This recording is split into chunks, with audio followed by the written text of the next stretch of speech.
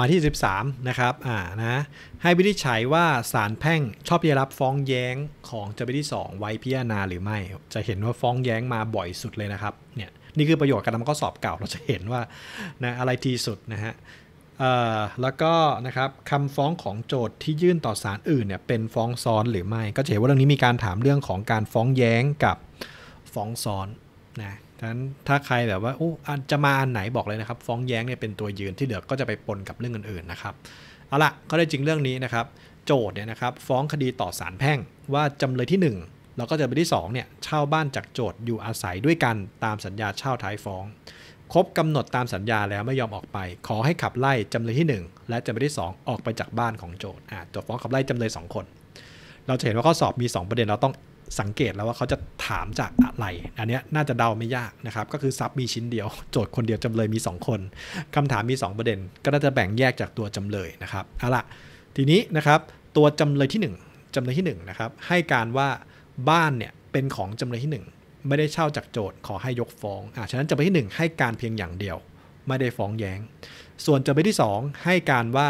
บ้านเนี่ยเป็นบ้านของตัวจำเลยที่ 2 ไม่ได้เช่าจากโจทย์ นะสัญญาเช่าท้ายฟ้องเกิดจากการแสดงเจตนาลวง โดยสมรู้กันระหว่างโจทย์กับจำเลยที่ 2 ตกเป็นโมฆะ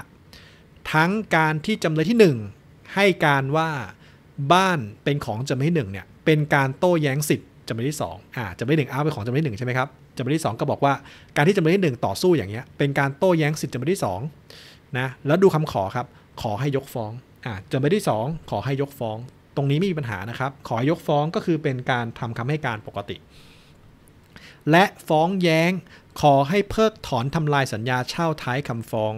และขับไล่จำเลยที่ 1 ออกไปจากบ้านดังกล่าวนะครับโอ้โหข้อสอบซ่อนประเด็นมากอะอันนี้คือประเด็นในส่วนของฟ้องแย้ง ว่าที่จำเลยที่ 2 ฟ้องแย้งอย่างเงี้ย สรุปแล้วศาลชอบที่จะรับฟ้องแย้งของจำเลยที่ 2 ไว้พิจารณาหรือไม่ ซึ่งในส่วนของฟ้องแย้งเนี่ยนะครับมีอยู่ 2 อันที่ซ่อนด้วยกันนะอะอันแรกคือการฟ้องแย้งขอให้เพิกถอนตัวสัญญาเช่าท้ายฟ้องจำเป็นต้องฟ้องแย้งไหมนะครับ เรื่องนี้จำเลยที่ 2 ให้การว่าอะไรครับ ให้การว่าสัญญาเช่าตกเป็นโมฆะนะ ฉะนั้นจำเป็นต้องขอให้ศาลพิพากษาเพิกถอนตัวสัญญาไหมครับนะ จำได้ไหมครับ เรื่องนี้นะว่าถ้าให้การต่อสู้ไปแล้วนะครับ ว่าสัญญามันตกเป็นโมฆะเนี่ยนะครับถ้าได้ความตามนี้ศาลทำไงครับศาลก็เพียงแต่พิพากษายกฟ้องเท่านั้นนะครับ ไม่จำเป็นที่ต้องนะพิพากษานะครับให้เพิกถอนทำลายสัญญานะครับ ฉะนั้นตรงเนี้ยนะครับฟ้องแย้งไม่ได้ ไม่มีความจำเป็นต้องฟ้องแย้งนะอะต่อไปนะครับ ตรงนี้ จำเลยที่ 2 ฟ้องแย้งว่าอะไรครับ ฟ้องแย้งว่าให้ขับไล่จำเลยที่ 1 ออกจากบ้านดังกล่าวจำกฎได้ไหมครับ การฟ้องแย้งจำเลยต้องบังคับเอากับใครครับ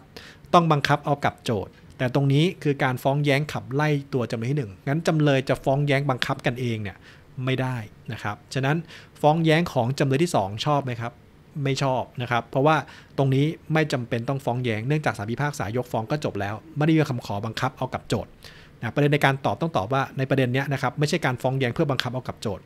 ส่วนให้ขับไล่จำเลยที่หนึ่งก็ต้องตอบว่านะครับการฟ้องแย้งต้องเป็นการบังคับเอากับโจทย์ ไม่ใช่บังคับเอากับจำเลยด้วยกันเองนะอะอันนี้เป็นประเด็นของฟ้องแย้ง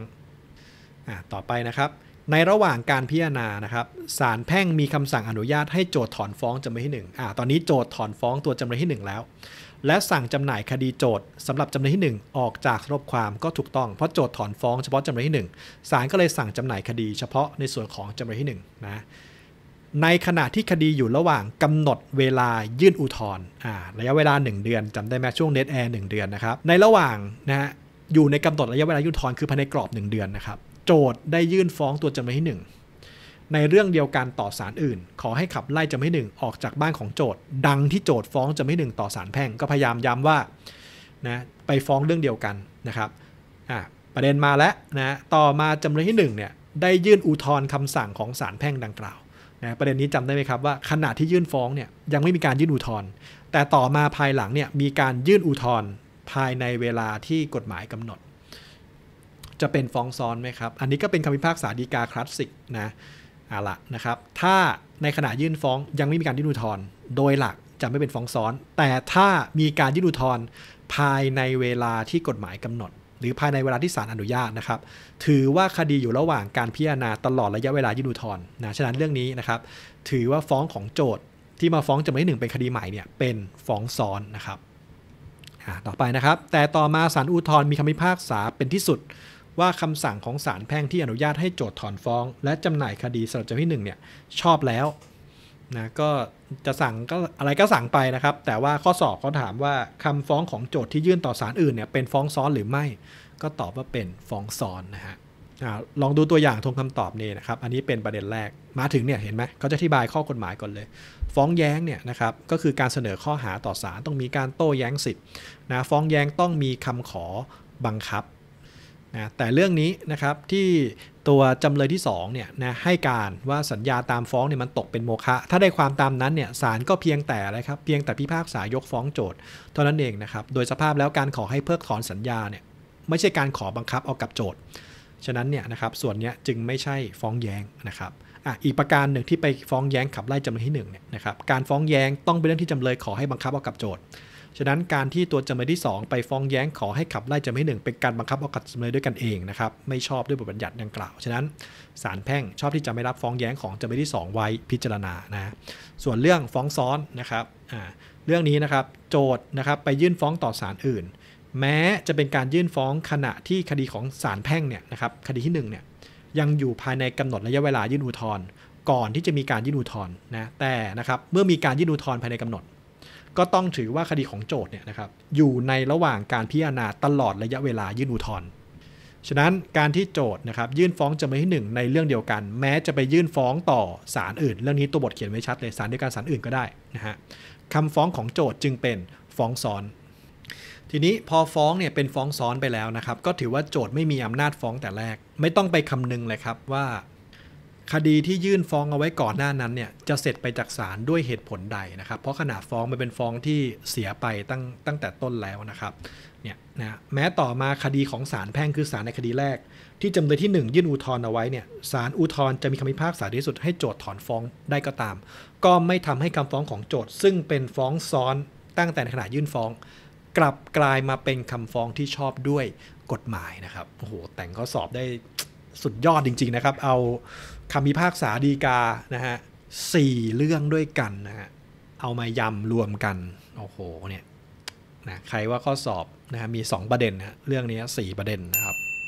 แต่ว่าก็เป็นหลักคลาสสิกแทบทั้งหมดเลยนะครับ ย้ำอีกรอบนะครับ เวลาทำไม่ได้เนี่ยคะแนนจะอยู่ตรงหลักกฎหมายกับเหตุผล แล้วก็พยายามให้มองประเด็นที่ทำได้นะอันไหนทำได้รีบตะครุบอย่างเงี้ยบางทีอาจจะทำได้ 3 จาก 4 ก็โอเคแล้วนะครับทำได้ 2 จาก 4 ก็ยังโอเค นะแต่คะแนนจะตรงหลักกฎหมายกับเหตุผลเป็นหลักนะฉะนั้นพยายามอธิบายหลักลงไปเยอะๆ แต่ให้มันอยู่ภายในกรอบเวลาที่ที่จะทำข้อสอบนะ